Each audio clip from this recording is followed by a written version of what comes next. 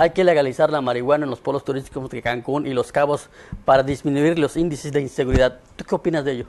Bueno, yo más bien pienso que eso la Secretaría de Economía tendría que regularlo. Yo pienso, no es regularlo por, por el tema de, de que la gente se vuelva menos loca con, con- drogas o, o algo así.